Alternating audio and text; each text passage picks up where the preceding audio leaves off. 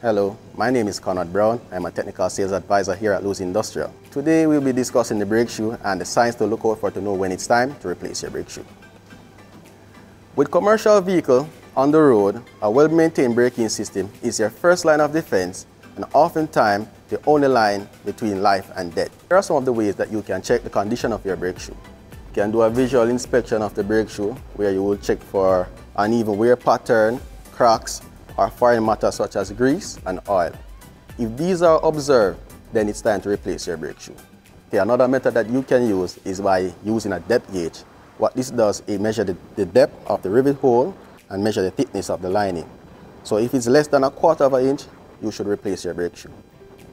Here we have two of our most popular brake shoe, which is the 4515, which is available in the FortPro and the Marathon brand. The Marathon brand is of OEM specification, and the FortPro, which is a popular alternative that is available here at LIG. Whether you choose to purchase based on quality, longevity, or pricing, LIG has the widest variety of braking components in Jamaica.